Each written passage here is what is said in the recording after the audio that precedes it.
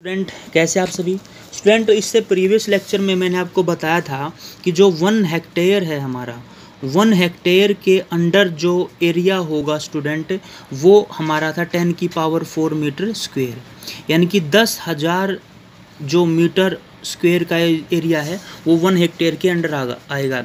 यानी कि जैसे कई बार हम खेती करते हैं तो वहाँ पे हेक्टेयर को काफ़ी कई बार सुना जाता है कि वन हेक्टेयर ज़मीन की उसने खेती कर रखी है, दस दस हेक्टेयर ज़मीन उसने बो रखी है। तो इसका मतलब ये होगा स्टूडेंट कि जो ज़मीन हमने बो रखी है, उसकी हंड्रेड मीटर चौड़ाई होगी। यानी कि अगर मान ले हम हेक्टेयर में बात करें तो अगर मैं हंड्रेड मीटर की लंबाई और 100 मीटर की चौड़ाई का अगर कोई ज़मीन का टुकड़ा लूँ तो वो जो स्टूडेंट एरिया होगा, वो हमारा वन हेक्टेयर ऑफ़ एरिया के बराबर होगा। इसी तरीके से स्टूडेंट अगर हम बात करें, आपका वन एकड़ के अंदर कितना एरिया होता है तो वन एकड़ का जो एरिया होता है स्टूडेंट आपका वन एकड़ का जो एरिया है, उसके अंदर four thousand forty seven metre square का एरिया होगा। यानी कि अगर वन एकड़ जिसको जैसे एक एकड़ बोलते हैं हम, एक एकड़ का जो एरिया होगा उसके अंदर four thousand forty seven metre square student हमारे पास एरिया कवर अप होगा। इसी तरीके से स्टूडेंट अगर और छोटी यूनिट्स थी उनके बारे में कल मैंने आपको बता दिया था, इसी तरीके से स्टूडेंट अगर हम मास की बात करें, जैसे अगर हमने काफ़ी हैवी मासिस में को मेज़रमेंट करना है। तो देखिएगा स्टूडेंट मास यानी कि भार को मेज़र करने के लिए हमारे पास कौन कौन सी यूनिट्स हैं। तो स्टूडेंट देखिएगा सबसे पहले अगर मैं बात करूँ वन टन की तो जो वन टन बोला जाता है उसके अंदर कितना मास होगा? देखिएगा स्टूडेंट मास को हम किलोग्राम के अंदर ही कन्वर्ट करेंगे, क्योंकि जो आई यूनिट है, जो ज़्यादातर हमें चाहिए होगी न्यूमेरिकल्स में, वो किलोग्राम चाहिए होगी। तो अगर आप वन टन को किलोग्राम में कन्वर्ट करना चाहेंगे तो वन टन के अंदर स्टूडेंट हमारे पास वन थाउज़ेंड किलोग्राम होंगे। इसी तरीके से अगर आप वन क्विंटल की बात करें वन क्विंटल के अंदर, ये तो आप सभी को पता ही होगा, बड़ा सा इजी ही है। वन क्विंटल के अंदर स्टूडेंट हमारे पास हंड्रेड के जी होगा। इसी तरीके से स्टूडेंट अगर मैं बात करूँ, वन एल बी देखिएगा, ये हमारे पास एक थोड़ी सी नई चीज़ आई है, वन एल बी एक्चुअली में ये ज़्यादा, जो वन एल बी है आपका, वन एल बी ये स्टूडेंट हम यूज़ करते हैं पाउंड के लिए। जो पाउंड होता है जैसे मैंने आपको बताया था जो ब्रिटिश सिस्टम था हमारे पास एफ़ पी एस सिस्टम आपको ध्यान होगा ना एफ़ पी एस सिस्टम तो वहाँ पे फुट यू, यूज़ हुआ था हमारे पास लेंथ को मेज़र करने के लिए पाउंड यूज़ किया था हमने। ये आपका आपके पास फुट था ये पाउंड था। और ये आपके पास सेकंड था। तो जो हमने ये पी यूज़ किया था स्टूडेंट यहाँ पे ये जो पाउंड यूज़ किया था वो ब्रिटिश सिस्टम में था। अब आपको ये बताना ज़रूरी है कि पाउंड और किलोग्राम में क्या रिलेशन है? तो स्टूडेंट आपको ज़्यादातर वहाँ पे एल बी लिखा मिलता है। तो देखिए एक बार पहले तो मैं आपको ये बता देता हूँ कि वन पाउंड के अंदर कितने किलोग्राम होंगे। स्टूडेंट अगर आपने वन पाउंड के अंदर किलोग्राम बताने हैं तो वो होंगे हमारे पास zero point five three six kilogram यानी कि हमारे पास जो किलोग्राम है वो बड़ी यूनिट है और पाउंड छोटी यूनिट है। अगर आप ये बताना चाहें कि बताइएगा वन किलोग्राम के अंदर पाउंड कितने होंगे? तो देखिएगा आपने वन पाउंड के अंदर किलोग्राम बता दिया, वो बना zero point four five three six. लेकिन अगर मैं अब आपसे ये पूछूँ कि वन किलोग्राम के अंदर कितने पाउंड्स होंगे तो स्टूडेंट हम उसको आप डिवाइड करके आसानी से निकाल सकते हैं तो 2.2 एल या पाउंड होंगे। देखिएगा इसके पीछे एल लिखने का एल बी क्यों लिखा होता है? देखिएगा स्टूडेंट ये जो एल बी वर्ड है, ये आपका एक लैटिन वर्ड है स्टूडेंट एल बी है आपके पास, एक लैटिन वर्ड है। जैसे आपने, मैंने आपको बताया ना, कई सारे ग्रीक वर्ड होते हैं, कई सारे लैटिन वर्ड होते हैं। क्योंकि ये सारी चीज़ें पहले जो लैटिन था, जिसको हमें इटली बोलते हैं, या फिर आप ये मान लीजिए लैटिन मतलब जो दक्षिण अमेरिकी देश उनको लैटिन कंट्रीज़ बोला जाता है। स्टूडेंट आपको पता ही होगा। तो एल बी जो बना है ये स्टूडेंट ये आपका बना है लैटिन वर्ल्ड से, जिसका मतलब होता है स्टूडेंट लिब्रा एल बी का मतलब है लिब्रा और अगर इस लिब्रा को हम, इस लिब्रा को अगर हम कन्वर्ट करें आपका इंग्लिश में तो इसका मतलब बनता है स्केल इसका मतलब होगा स्टूडेंट आपका स्केल स्केल भी बोल देते हैं और या फिर बैलेंस बोल देते हैं. तो लिब्रा का मतलब होगा स्केल या बैलेंस तो यहाँ पर जो एल बी है, वो लैटिन वर्ड ही है, जिसका सुधरा हुआ रूप आपके पास स्केल या बैलेंस है.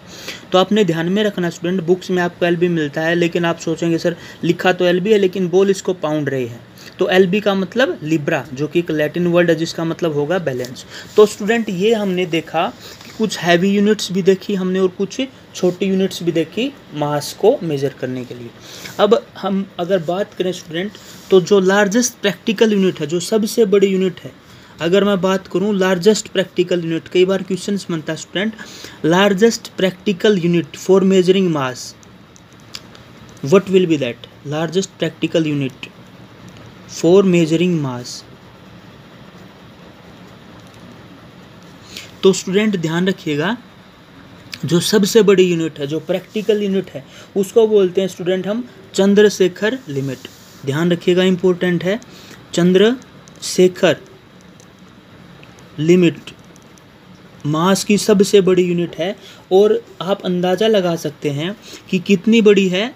1.4 टाइम्स ये बड़ी है 1.4 times the mass of sun the mass of sun तो स्टूडेंट आप अंदाज़ा लगा सकते हैं कि जो सन का मास है, उसका भी 1.4 टाइम्स हमारे पास चंद्रशेखर लिमिट है। तो काफ़ी ज़्यादा बड़ी यूनिट है स्टूडेंट्स ध्यान रखिएगा मास को मेज़र करने की ये यूनिट है। इसी तरीके से स्टूडेंट अगर आपको ये पता हो, ये तो बड़ी से बड़ी यूनिट हुई। अगर ये पूछ लें कि बताइए, छोटी से छोटी यूनिट क्या है? जो स्मॉल मास को हम मेज़र करने के लिए तो जो स्मॉल यूनिट होंगी स्टूडेंट हमारे पास, वो होगी आपके पास वन ए एम यू ये नाइन्थ क्लास में आप अच्छे से इस चीज़ को स्टूडेंट पढ़ चुके हैं। वन ए एम यू का मतलब ये होगा student one atomic mass unit A का मतलब एटॉमिक एम का मतलब मास और यू का मतलब यूनिट तो जो वन एटॉमिक मास यूनिट है स्टूडेंट ये मास की काफ़ी छोटी यूनिट है और इस, ये जो वन ए एम यू है क्योंकि स्टूडेंट देखिएगा एस आई यूनिट हमारे पास किलोग्राम है तो हमें सभी यूनिट्स को किलोग्राम के अंदर ही कन्वर्ट करना होगा। तो जो one A M U student उसकी वैल्यू हमारे पास 1.66 point six six into ten raise to power minus का 27 किलोग्राम होगी। काफ़ी इंपॉर्टेंट यूनिट स्टूडेंट और आपको ध्यान में इस चीज़ को रखना होगा। तो स्टूडेंट हमने देखा कि मास की भी हमने डिफरेंट डिफरेंट यूनिट देखी। Ton quintal pounds kilogram largest unit क्या है स्मॉलेस्ट यूनिट क्या है? तो स्टूडेंट इसके बाद जो हम अभी आगे बात करेंगे यहाँ पर तो उसके बारे में स्टूडेंट अभी मैं आपको बताऊँगा। देखिएगा, इसके बाद जो हमारा अगला टॉपिक है स्टूडेंट वो हम और कुछ यूनिट्स के ऊपर यहाँ पे अब बात करने जा रहे हैं। जैसे हमारे पास कुछ प्रैक्टिकल यूनिट्स और भी हैं कुछ इंपॉर्टेंट प्रैक्टिकल यूनिट हैं, जिनमें सबसे पहले हमारे पास यहाँ पे जो यूनिट है स्टूडेंट वो है आपकी एस्ट्रोनॉमिकल यूनिट देखिएगा ये कुछ प्रैक्टिकल यूनिट हैं और ये एस्ट्रोनोमिकल यूनिट है स्टूडेंट अब ये क्या है इसके बारे में आप ध्यान से सुनिएगा. एस्ट्रोनॉमिकल यूनिट इसको हम स्टूडेंट वन ए यू भी बोलते हैं. A stand for astronomical and U stand for unit तो स्टूडेंट जो हमारे पास वन एस्ट्रोनॉमिकल यूनिट है, इसका मतलब क्या होगा स्टूडेंट अब देखिएगा, ये हम एक मिनट के लिए मान लेते हैं कि हमारा सन है, और ये सन का हमारे पास यहाँ पे एक सेंटर है, और ये स्टूडेंट मैं मान लेता हूँ कि मेरे पास अर्थ है, और ये अर्थ का सेंटर है।